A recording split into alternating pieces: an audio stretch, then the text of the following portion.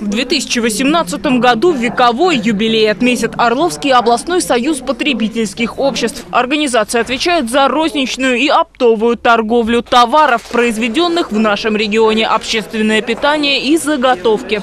Исполняющий обязанности губернатора Орловской области поблагодарил юбиляров за успешную работу, оценив важность взаимопомощи в работе с потребсоюзом. Мы все с вами прекрасно понимаем, создавая условия работы на селе, мы создаем возможность работы и экономической модели, и государственной системы контроля, обеспечения услуг и качества жизни каждого человека, кто живет в Орловской области.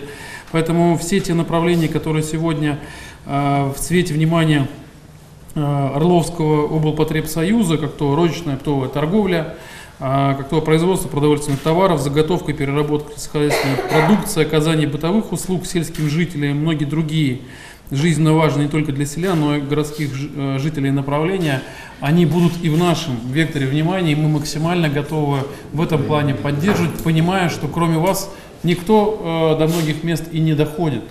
Кроме того, Потребсоюз несет ряд важных социальных обязательств, обеспечивая продовольствием даже отдаленные уголки нашего региона.